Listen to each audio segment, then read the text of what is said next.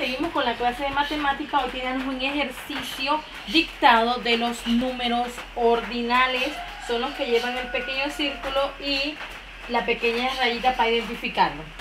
Eh, hice el dictado de números, luego eh, la segunda parte era dibujar 10 árboles y enumerarlo del primero al décimo. Primero, segundo, tercero, cuarto, quinto, sexto, séptimo, octavo, noveno y décimo.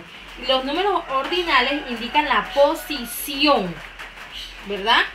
Y expresan un orden, que los árboles van en un orden, la posición.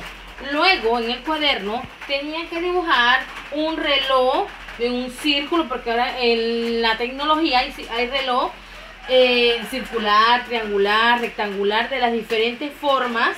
Y escribirle los números romanos, a esos números naturales que siempre vemos en los relojes, vamos a agregarle los números romanos 1, 2, 3, 4, 5, 6, 7, 8, 9, 10, 11 y 12. Le vamos a dar el valor a esos números con los números romanos. Gracias.